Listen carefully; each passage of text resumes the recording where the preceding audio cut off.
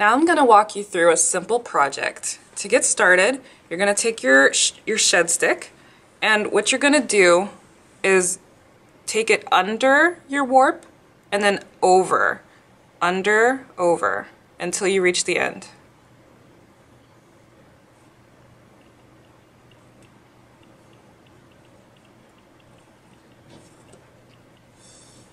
So what this does, it makes it really quick for you to build blocks of weave because when you get ready to go from right to left, you just lift it up and you pass your, your uh, yarn under it.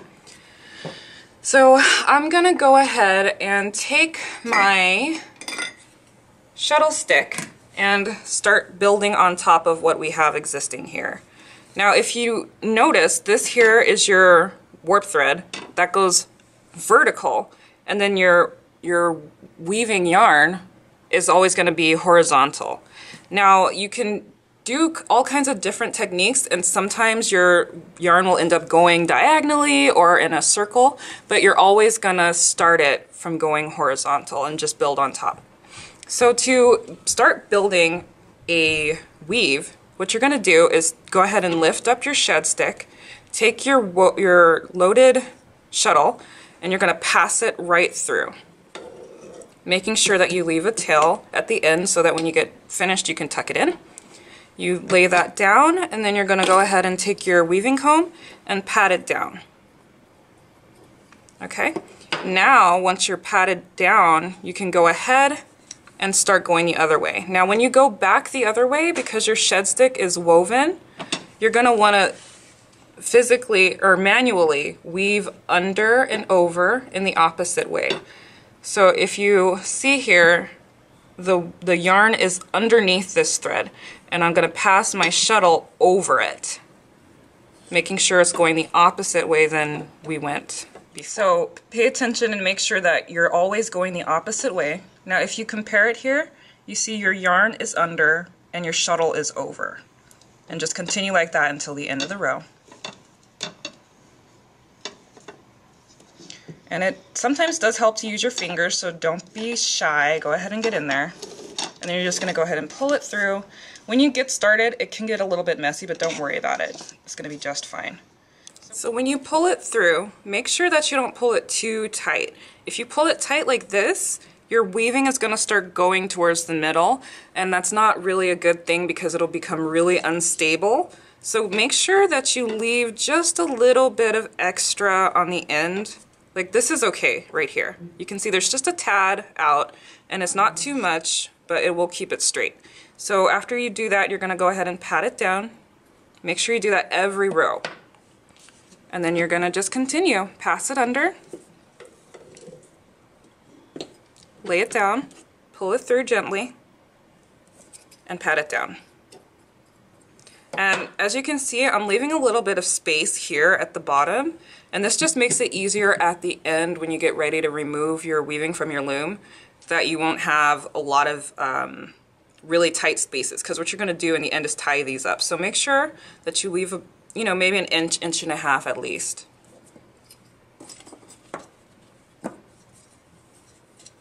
Okay, so as you can see, when you're done with a couple of rows, your shuttle can get a little tight here. So just go ahead and unweave it a little bit, unwind it a little bit, and then continue.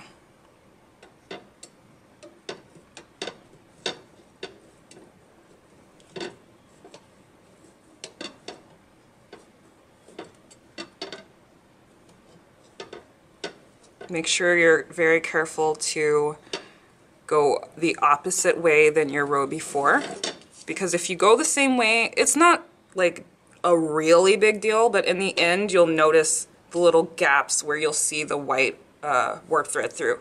So for a cleaner look, you just need to be very careful not to go the wrong way when you're weaving. And this is a really simple technique and it's really, really easy. So once you get, like this is one of the most basic weaves. Once you get this down, you can do almost anything. You can make simple patterns, you can make stripes, you could make uh, a solid block, you could do whatever you want. Now with this simple technique, you can do some really interesting things. What I'm gonna show you now is a different basic weave. And all you gotta do is take your shed stick out and you're just gonna weave it a little differently. So now I'm going three and three. Three and three.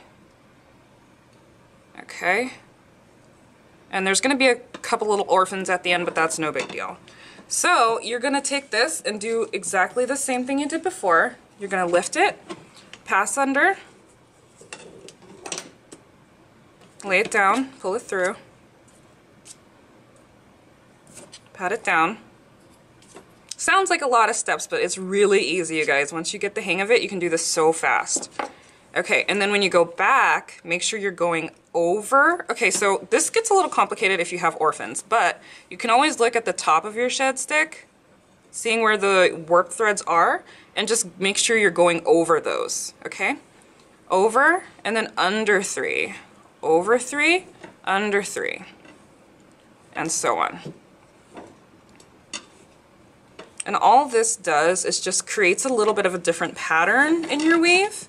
And since it's still, you know, a very simple one, you're gonna be able to build it really easily. Okay, and you're gonna go ahead, pat that down, and continue. Okay, so now that you have a little bit of a base here, I'm gonna show you how to do the Rya technique. I think I'm saying that right, but it's R-Y-A, and it's just basically making tassels on your tapestry. So, to start, you're gonna take your ball of yarn, and I'm gonna go ahead and show you how to unwind it. It's really easy.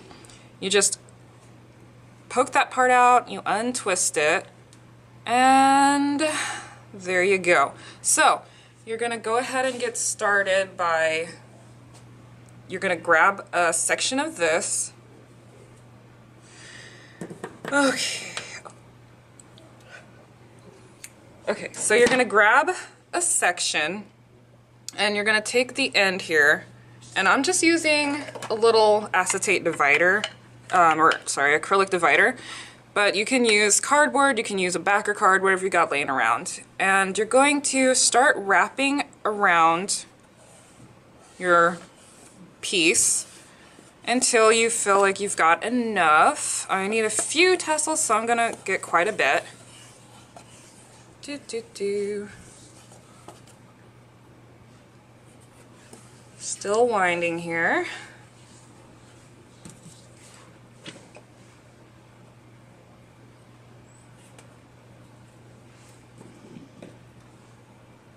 Okay, so now once you've got a selection or enough yarn, you're gonna go ahead and trim off one side. You could trim off both sides if you want really small tassels, but I want mine to be a little bit longer. So I'm trimming off the long side. And then you're just gonna have a few strips of yarn here. So you can you can use as many pieces of yarn as you want. The, the bigger you want it, just grab more pieces of yarn, okay? So I'm gonna make it a little bit bigger. So I'm gonna take five here and you're gonna go ahead and fold it in the middle, as close to the middle as you can. You don't have to make it perfect because you're gonna trim it in the end anyhow.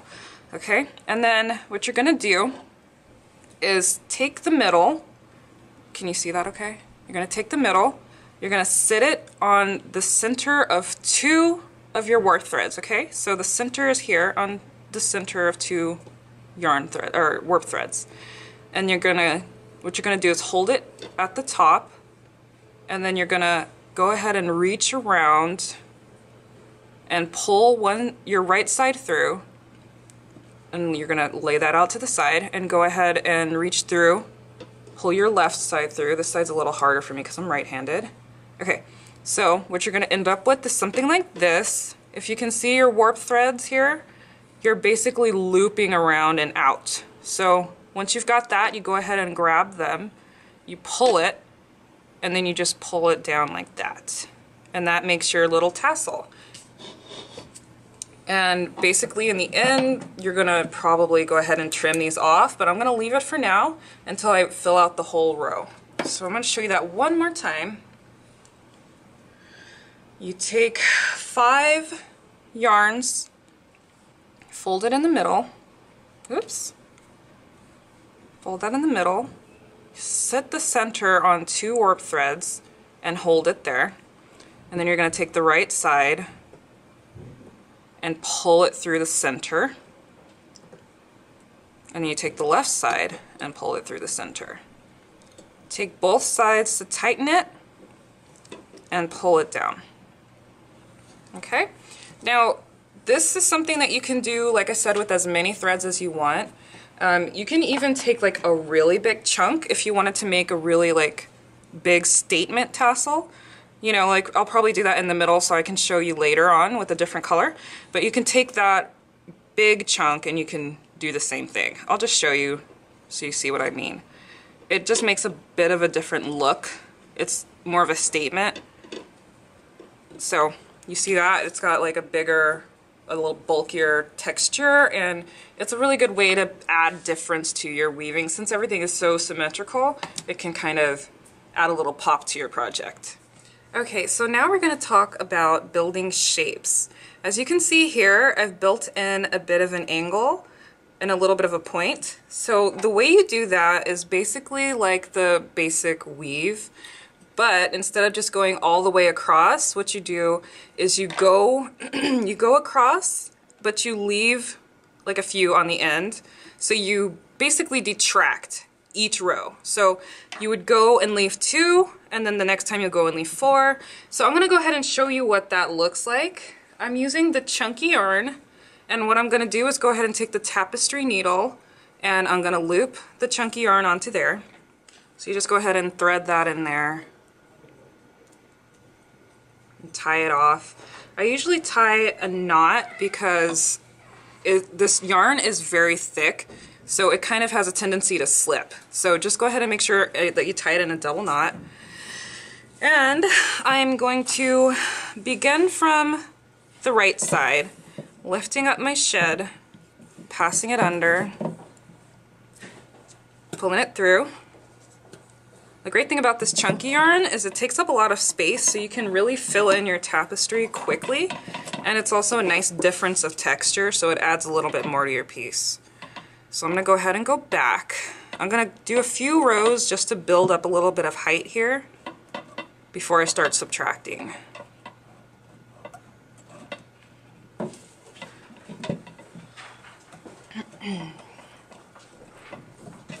Go on and pull that through. And you pat it down and you're gonna go ahead back through. Now I'm just gonna do this a couple times, like I said, to build a little bit of height. You can do it as, as many times as you want, depending on the, side of your, uh, the size of your tapestry. And then I also wanted to point out, as I am patting down the chunky yarn, you're gonna wanna use this side of the weaving comb. This side is a little bit more narrow, so it's great for the, the thinner thread, or thinner yarn, but when you're using the chunky yarn, you're gonna wanna use this side because it's just easier and it doesn't like get stuck in there. So just a note. okay, now I'm gonna go back one more time and then I'll show you on this next row how you start decreasing. The main thing that you wanna make sure of is when you do start decreasing that you decrease in regular intervals. What I mean by that is, let's, let's see. Now, Oh, let me pat it down. Okay, now, as I'm going back, okay, I'm gonna just leave one extra. So, it may not look like anything yet, but let me go ahead and continue here. So instead of me going around this one to go back, what I'm gonna do is just skip this one, this thread here, and continue on this way. So that's me decreasing by one. So now that I've decreased by one, I'm gonna make sure to do that on each decrease to make sure that it's even. And this just is important to keep your angles even and to keep things neat because once you start decreasing and once you start an angle, if you change your increments, it's gonna make it look really crooked. Instead of it being a nice smooth angle, it's gonna be like, you know, jagged. So make sure to keep it regular. Now I'm going back again and I'm going to leave it here. I'm not even going to go over this thread this time. Okay? So you can see there I'm coming up through here and not through here. Once again, being careful not to pull it too tight, like I just did. But the good thing is, if you pull it too tight, you can always pull it back a little. Just make sure that you don't leave it tight. Okay? And now you see how this is bulging just a bit? You can go ahead and manually pull that in just a little and keep your edges even. It'll make a big difference with your finished product. Okay, so now I'm gonna leave two. I decreased by one here, so I'm gonna decrease by one more and come in through here, okay?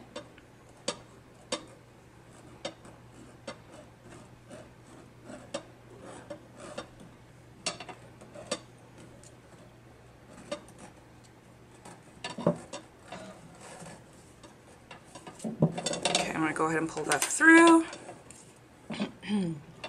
Pat that down. And you can already start to see the angle coming in. As I continue, it'll start to become more apparent. And this is really fun. You can you can make shapes, you can make a triangle, you can make circles, you can make squares, whatever you want. Okay. All right, so I think I messed up a little here and I went too many back. So I'm just gonna go ahead and pull it under one more to keep that even. So now you can see I'm decreasing by one more here and continue weaving.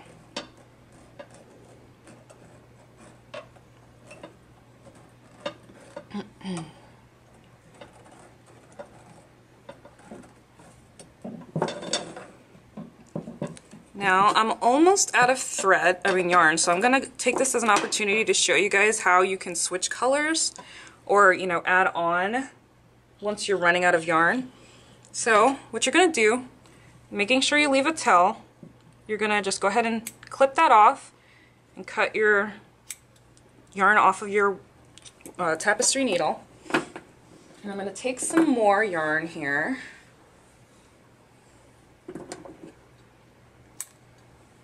Okay, and just going to add it back to the tapestry needle.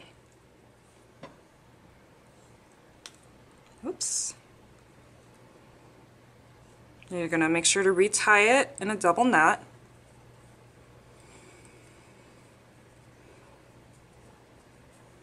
Okay, pull it tight, and then you're just going to continue back as if you hadn't stopped at all. So I'm just going to continue back from the right side and weave it on through.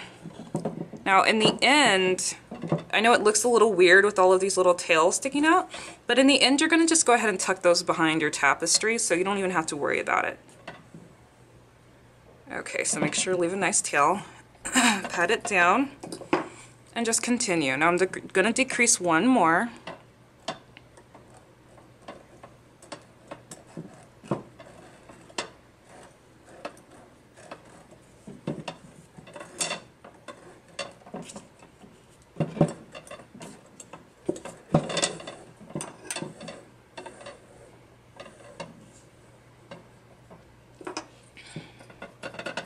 And then you'll just continue that until the end of your the, until the end of your warp threads here.